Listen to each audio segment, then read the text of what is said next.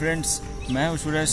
Welcome to my channel backpacker blogs तो आज के वीडियो में मैं आपको मेरे लद्दाख ट्रिप के एक्सपीरियंसेस के बारे में शेयर करूँगा। रिसेंटली मैंने लद्दाख ट्रिप किया था तो मुझे लगा क्यों ना मैं उस ट्रिप के एक्सपीरियंस आपके साथ भी शेयर करूँ कि अगर आप इन फ्यूचर लद्दाख जाने की सोच रहे हो तो आपको भी थोड़ा हेल्प हो जाए कि लद्दाख में क्या क्या देखने को है रोड कैसा है। अगर आप बुलेट लेकर ट्रिप करना चाह रहे हो तो उसमें भी आपको क्या क्या चीज़ें करना है। टोटल ट्रांसपोर्टेशन क्या है, कौन सी कौन सी प्लेसेस है जो आप देख सकते हो, जा सकते हो। तो इस टोटल लद्दाख ट्रिप को मैंने फाइव एपिसोड में कवर किया है। तो पहले एपिसोड जो आज का वीडियो होने वाला है, इस वीडियो में मैंने कवर किया है लेह सिटी और इसकी सराउंडिंग्स की एरिया के बारे में क्या क्या आपको देखने को मिलेगा प्लस आपको ट्रांसपोर्ट बुलेट हायर एक्सेट्रा चीज़ें, ये सब चीज़ें मैंने इस एपिसोड वन में बताया।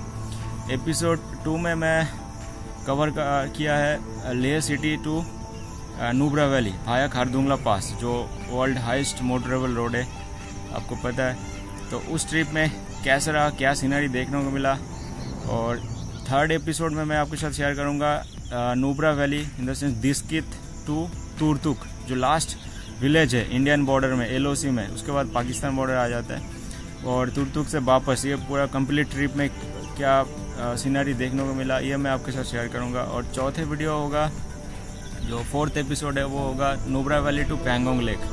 जो रोड है, पैंगोंग लेक की जो ट्रिप है, उसको मैंने कवर किया और लास्ट और फिफ्थ वीडियो में मैंने कवर किया है पैंगोंग टू ले वापस।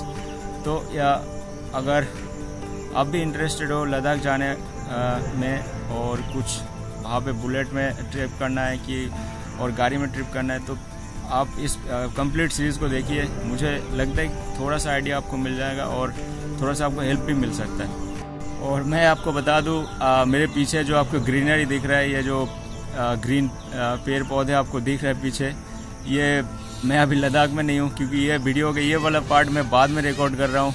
अभी मैं दिल्ली में हूँ तो दिल्ली में बैठ के ये रिकॉर्ड कर रहा हूँ। और अभी मानसून का टाइम है तो इसलिए इतना खूबसूरत ग्रीनरी पीछे दिख रहा है। तो चलिए मैं आपको सीधा दिल्ली से मेरे वीडियो के थ्रू आपको ले सिटी ले चलता हूँ। तो फ्रेंड्स, अगर कोई लद्दाख ट्रिप के बारे में सोच रहा है तो पहला चीज़ जो दिमाग में आता है, वो होता है ट्रांसपोर्टेशन कि लद्दाख जाए कैसे? तो लद्दाख जाने की दो तरीका है, दो मोड है। वो एक तो एयर मोड लाइक फ़्लाइट से जा सकते हो दूसरा है रोड जो आप बसेस में जा सकते हो। तो मैं दोनों के बारे में आपके साथ शेयर करूँगा, क्योंकि मैंने दोनों का एक्सपीरियंस किया है। क्योंकि मैं दिल्ली से जब ले गया था तो मैं फ़्लाइट में गया था, और वापस जब आया था लेह से दिल्ली, वो मैं बस में आया था।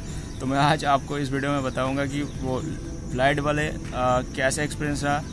और बस वाला भी क्या एक्सपीरियंस रहा? तो अगर आप फ़्लाइट में जाने की सोच रहे हो तो फ़्लाइट का कॉस्ट अराउंड तीन हज़ार के आसपास होता है। पहले प्लान करके आप टिकट कर लीजिए तो थोड़ा सस्ता मिल जाएगा। बाईस से पच्चीस सौ में मिल सकता है आपको। तो और बाकी जो रोड वाला ट्रांसपोर्ट है, उसको मैं बताता हूँ। अगर आप आपको, मैं ये कहूँगा कि अगर आप पहली बार माउंटेन जा रहे हो तो रोड वाला ट्रिप तो अवॉइड ही करो, क्योंकि ये बहुत स्ट्रेचरस और बहुत लॉन्ग टाइम टेकिंग रूट है। क्योंकि आपने सुना होगा, अगर कभी आप दिल्ली आई एस गए वहाँ पे आप बोर्ड पे लिखा होता है, दिल्ली टू ले ठीक है? तो मैं आज आपको उल्टा तरीके से बताने वाला हूँ कि मैं शुरू करने वाला हूँ लेह से कि मैं वापस बस में आया था। तो लेह से शुरू करके मैं दिल्ली कैसे पहुँचा वो मैं बताता हूँ। आपको ले बस स्टैंड से ऑर्डिनरी बस से ऑर्डिनरी इन द सेंस जो स्टेट बस होता है हिमाचल टूरिज़्म का वो स्टेट बस चलती है। ले ट्रांस जो बस स्टैंड है वहाँ से चलेगी सुबह को आई थिंक चार बजे। तो फ्रेंड्स जो स्टेट बस चलती है जो ले बस स्टैंड से आ, चलती है वो पहले आती है केलोंग तक। तो उस पर टाइम लगता है आपकी चौदह घंटे के आसपास और उसका किराया होता है आठ सौ रुपये के आसपास। ठीक है और रोड बहुत ज़्यादा स्ट्रेचरस रोड है जो बाइकर्स रोड जिस रूट पे जाते हैं उसी रूट पे आप बस चलेगी। और आपको बिल्कुल एक फ़िज़िकल फिटनेस की बहुत ज़्यादा ज़रूरत पड़ेगी उस रूट पे आपको सफ़र करने के लिए वो स्टेट बस में। तो इस पर आपको टोटल टाइम लग गया फोर्टीन आवर प्लस पैसा आठ सौ रुपया। फिर उसके बाद आपको केलोंग से बस लेना आ, लेन, आ, लेना है मनाली के लिए। तो उस पर भी आपको टाइम लग जाता है छः घंटा और पैसा लगेगा दो सौ रुपये के आसपास। तो टोटल आपका होगा बीस घंटा और थाउज़ेंड रुपीज़ ठीक है? और इसके बाद आपको वॉल्वो बस मिल सकता है मनाली से दिल्ली के लिए। उसमें पैसा लगेगा सोलह सौ रुपये और टाइम लगेगा बारह घंटा। तो आप अगर देख सकते हो तो टोटल टाइम हो गया आपकी कम से कम थर्टी फोर आवर्स के आसपास और पैसा हो जाता है आपकी छब्बीस सौ रुपया। ठीक है? बट मैं आपको बताऊँगा, छब्बीस सौ ज़्यादा लगेगा क्योंकि पूरा कंप्लीट दो दिन का सफ़र हो जा, हो ही जाता है तो उसमें खाने पीने का खर्चा भी होता है तो टोटल मिला के आपको साढ़े तीन हज़ार रुपया रोड में लग ही जाएगा रोड ट्रांसपोर्ट में। बट अगर आप एडवेंचर करना चाहते हो, देखना चाहते हो सीनरी एंजॉय करना चाहते हो तो बस में आप जा सकते हो। बहुत मज़ा आएगा, बट उसके लिए थोड़ा सा फिजिकली आपको स्ट्रांग होना पड़ेगा, ठीक है? तो दो ऑप्शन मैंने आपको बताया बाई फ़्लाइट और बाई बस दोनों तरीके से आप जा सकते हो।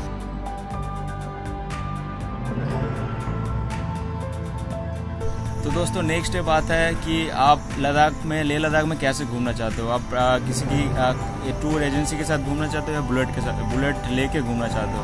तो मैं तो बुलेट लेके घूमा था तो वो एक्सपीरियंस मैं आप, आपको बताऊँगा। तो बुलेट अगर आप लेना चाहते हो तो लद्दाख पहुँचने के बाद आपको पहले काम ये करना है कि आप बुलेट ले लीजिए ठीक है? पहले और उसके बाद आपको दूसरा काम करना होगा कि परमिशन लेना पड़ेगा नूबरा वैली या आपको पेंगोंग साइड जाने के लिए अलग से आपको परमिट लेना पड़ता है। वहाँ की टूरिज़्म जो सरकारी टूरिज़्म सेंटर है, वहाँ से उस पर भी कुछ पैसा लग जाता है दो ढाई हज़ार के आसपास। और उसके बाद, मैं आपको इसलिए बोल रहा हूँ कि आप ले पहुँचने के बाद पहले बुलेट ले लीजिए। अगर बुलेट का प्लान है, बुलेट में आपको घूमने की आप सोच रहे हो, क्योंकि होता क्या कि आप अगर डायरेक्ट दिल्ली से फ़्लाइट में जा रहे हो तो आपको वहाँ पे माउंटेन की रोड पे बुलेट चलाना, एक दिन आप बिल्कुल लेह सिटी घूमिए बुलेट में तो आपको एडजस्ट हो जाएगा, आपको समझ में आ जाएगा कि इस रोड पे कैसे चलाना है, इस चढ़ाई उतराई में क्या करना है। और प्लस आपको आसपास की जगह देखने को भी मिल जाएगा। तो दोस्तों, रही बुलेट की प्राइस की बात तो प्राइस आपको बुलेट की मॉडल के हिसाब से डिफरेंट होगा। जैसे आप 350 बुलेट लेना चाहते हो 350 सीसी का तो वो आपको पड़ेगा जो मैंने लिया था वो ग्यारह सौ रुपया था पर डे का। और आप फाइव हंड्रेड सी लेना चाहते हो तो आपको पड़ेगा तेरह हज़ार रुपया। वो हिमालयन एडिशन अगर आप चूज़ करते हो, वो आपके लिए पड़ेगा अट्ठारह सौ रुपया। बट मैंने रॉयल एनफील्ड थ्री फिफ्टी लिया था बट वो मेरे लिए बहुत अच्छा था। नो कोई प्रॉब्लम नहीं आया। और बुलेट शॉप लेयर सिटी में बहुत सारा है। आपको थोड़ा बहुत बार्गिन कर लेना तो थोड़ा पचास सौ रुपये कम हो जाता है। तो ये ऑन एन एवरेज रेट है, एक साल पहले की रेट मैं आपको बता रहा हूँ।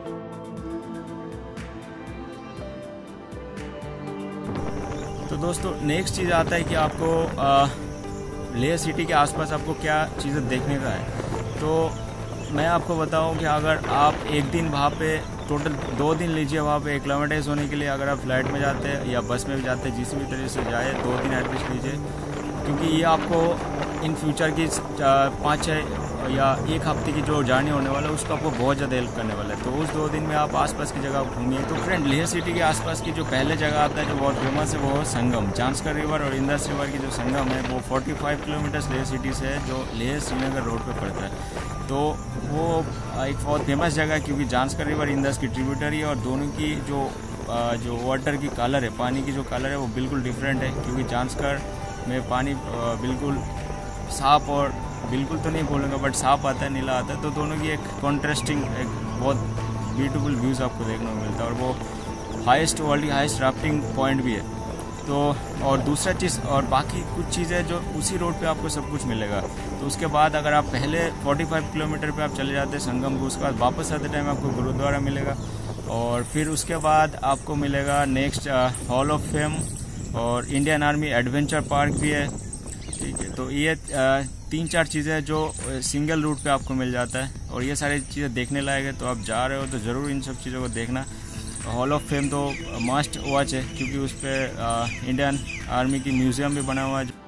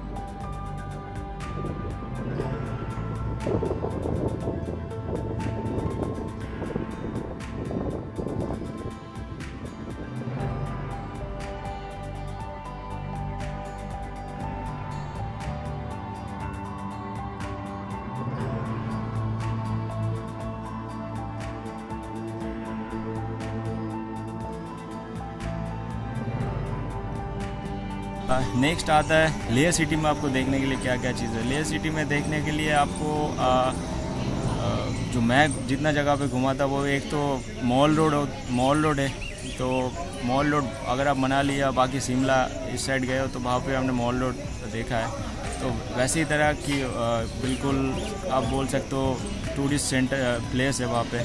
बहुत ही टूरिस्ट लोग आते हैं तो और बहुत सारे शॉप्स है। इंटरेस्टिंगली वहाँ पे मुझे जो चीज़ अच्छा लगा वो है कि पर उस मॉल रोड पर आपको सब्ज़ी की लोग आपको मिल जाएँगे सब्ज़ी बेचते हुए जो हरा सब्ज़ी होता है। तो मुझे वो चीज़ें बहुत अच्छा लगा। और उसके बाद आप जा सकते हो लेह पैलेस वो भी बहुत अच्छा जगह है देखने के लिए। और एक चीज़ और जो है शांति स्तूप वो भी एक अच्छा जगह है। उस पर भी आप जा सकते हो। तो ये कुछ चीज़ें मैंने एक दिन मैं एक्लोटाइज किया था उस आ, मतलब एक दिन मैं सिटी रुका सिटी में रुका था तो उस एक दिन में मैंने ये सारी चीज़ें घुमा दी। एक दिन में मैंने कवर किया था।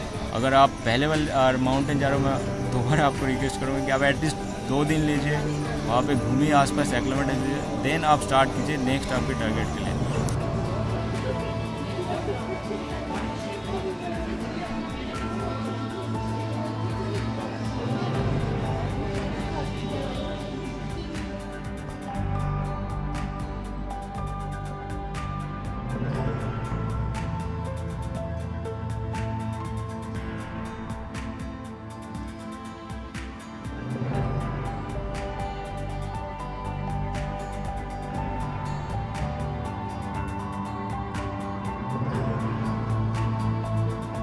तो दोस्तों, ये रहा एपिसोड वन की मेरा लेह लद्दाख सीरीज़ के एपिसोड वन तो कैसा लगा आपका? आई होप तो मैं, मेरा जो एक्सपीरियंस था, मैंने आपके साथ शेयर किया और आपको थोड़ा सा इससे इन्फॉर्मेशन मिला है और आपको इंस्पिरेशन में मिला। मैं तो ये कहूँगा कि अगर लाइफ में एक बार चांस मिलता है तो आप ज़रूर जाइए लद्दाख।